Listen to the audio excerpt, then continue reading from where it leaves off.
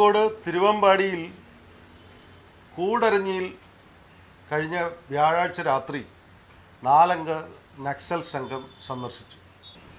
ആളൊഴിഞ്ഞ വീട്ടിൽ മഞ്ജുളയുടെ വീട്ടിൽ ഈ നാലംഗ സംഘം എത്തി. മഞ്ജുളയുടെ വീട്ടിന്റെ പിൻഭാഗം കാടാണ് കൊടിയ വനമാണ്. ഇവിടെ നാലംഗ സംഘം എത്തുകയും കബനീദളം കബനീദളം എന്ന പോസ്റ്ററിലാണ് അവർ അവരുടെ ആഹ്വാനങ്ങൾ എഴുതി ഒട്ടിച്ചിരിക്കുന്നത്. അതിനകത്ത് മൂന്ന് നാല് ആഹ്വാനങ്ങളാണ് അവർ എഴുതിയിരുന്നത്. ഒന്നാമതായി ആദിവാസി ഭൂമി പ്രശ്നം പരിഹരിക്കുക.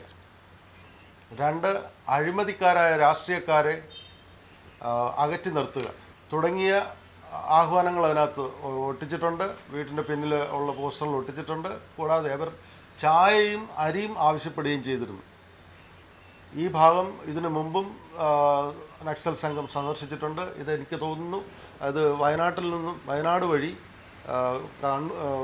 ബാംഗ്ലൂർ കർണാടകത്തിലെ വനത്തിലൂടി വയനാട്ടിലെത്തിയും വയനാട്ടിൽ നിന്നാണ് ഇങ്ങോട്ട് മെയിൻ മെയിൻലാൻഡ് എന്ന് പറയാറായിട്ടില്ല. എങ്കിൽ പോലും ഈ ഭാഗം വനപ്രദേശമാണ് അവിടെ എത്തി പോയിരിക്കുന്നത്. ഇത് സൂചന നൽകുന്നത്.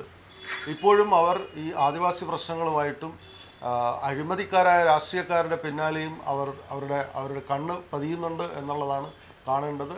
പോലീസ് അവിടെ ജാഗ്രത പാലിക്കുന്നുണ്ട്.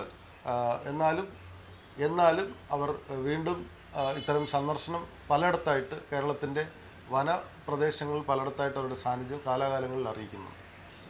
കൂടാതെ ജലീലിന്റെ കൊലപാതകം ആസൂത്രിതമായ കൊലപാതകമാണെന്നും അതിന് ഉത്തരവാദികളായ പോലീസുകാരെ പോലീസുകാർക്കെതിരെ നടപടിയെടുക്കണമെന്നും അവർ ആഹ്വാനം ചെയ്തിരിക്കുന്നു. അവർ വ്യാഴാഴ്ച രാത്രി തന്നെ അവിടെ നിന്ന് അപ്രത്യക്ഷമായി അരിയും ചായയും ചായ അവിടെ നിന്ന് കുടിക്കുകയും ചെയ്തു. ഈ വീട്ടിൽ നിന്ന് ചായ കുടിച്ചു. അത് കഴിഞ്ഞ് അവിടെ നിന്ന് അരിയും വാങ്ങി അവർ അപ്രത്യക്ഷമായി എന്നാണ് പറയുന്നത്. പക്ഷേ എന്നാലും ഈ ഭാഗത്ത് തിരുവമ്പാടി കോഴിക്കോട് വയനാട് ഭാഗത്ത് മാവോയിസ്റ്റ് സാന്നിധ്യം കൂടെ കൂടെ സന്ദർശനം നടത്തുന്നു എന്നുള്ളതാണ് നമുക്ക് കണ്ടുവരുന്നത്